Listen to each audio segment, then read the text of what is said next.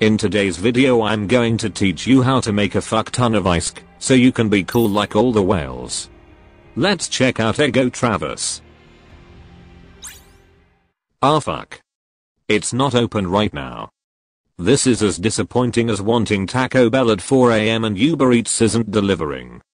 I have an idea though, let's call up my good friend Phoenix Tasador. Hello, this is Phoenix. Hello Phoenix. The dual mode is closed right now. How can I make some ice? Hello, rep. Me favorite person. You look so handsome metoda. Unfortunate lui ego traverse is closed right now, but if you want to make the misk you should do to ado Montreal.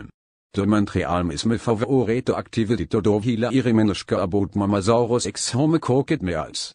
Bühe bühe, me little schnitze. Dormant Realm doesn't sound bad. Let me call my friend Mattyhuh and ask his thoughts as he is a massive fucking crab. Hello Matty. Should I do Dormant Realm? Oh hey rep. Yeah, Dormant very good. I'm on top of leaderboard and I have only lost 24 capital ships. Not bad for a fucking wee bright. Anyways, can you please teach me to be as good at PvP as you are? No. Goodbye. Anyways that settles it, let's try to get a Dormant fleet. Wow. That was fast. Not really, it took me 45 minutes to find the chat version of Poseidon, a ripoff of Taekwondo, and a guy who can't spell glitch. At least we can do this realm, and get some sweet loot. The cool thing about Dormant Realms is that upon completion you can get boxes which drop materials for those fancy implants. No, I'm not talking about the ones you got your wife last year for your anniversary. We begin this dungeon by realizing we equipped the wrong Nanocore and implant because we were so fucking distracted about getting three other idiots to do a level 6 title with us.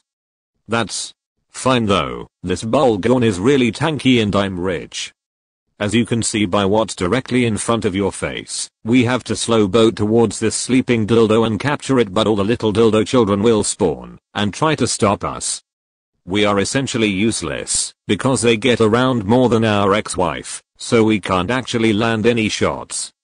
That's okay though, we will shoot at the cruisers mainly in hope that the idiots we drug in can apply DPS to the small things. Dormant Realms are an excellent way to sweet 30 to 60 minutes of your time, while worrying if you are going to lose your flagship whale boat, that you swore was invincible. No worries though, NetEase disabled PvP, because some assholes from your favorite mercenary group were ganking people who place way too much trust in your average internet stranger. Once we finish one tower, we have to move to the next one, and do it again, because repetition is sort of the status quo for NetEase.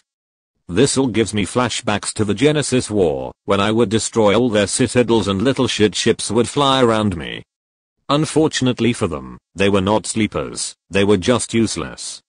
Anyways, after we finish jerking ourselves off and wondering if that Vindicator that doesn't know how to let the Bolgon tank will actually die, we'll move on to the last tower and pray that this 15B Bolgon can tank while my little dildo slappers handle the last couple way. The funny thing is, we didn't actually get any loot, because NetEase limits you to 3 boxes a week, because it would be terrible for implants to actually be affordable. This was a massive waste of time that could have been better served fucking people in Timor with a modified Vexor.